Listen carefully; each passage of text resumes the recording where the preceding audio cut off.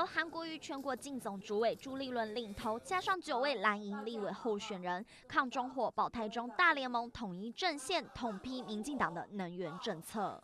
四年前，蔡英文以民进党意识形态当中最重要的神主牌反核当选总统。四年来，核电全部继续运转，至少民进党已经说他们最快是二零二五，这个是。这叫拔蜡票啊！二十五号，台中市长卢秀燕大动作开闸中火，效应持续扩散。蓝营出面现身力挺，不过反对声浪也不小。立委候选人洪慈用在脸书上开轰，点名卢秀燕上任后拿中火当提款机，把责任推给中央，更算他唯一做的事情就是发古关空气瓶。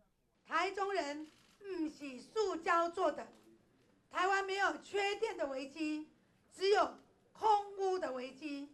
健康不分蓝绿，台中人拒绝用费发电。民进党政府到现在到现在还一昧的要来包庇护航台中火力发电厂，哦，要继续燃放这个有毒的呃这个有害的空气，要给我们影响我们中部乡亲所有人的生命财产安全。从地方发声炮打中央，台中的空气保卫战也成了各阵营炒热地方选情的一步棋。欢迎新闻红世城、李佳瑜台中报道。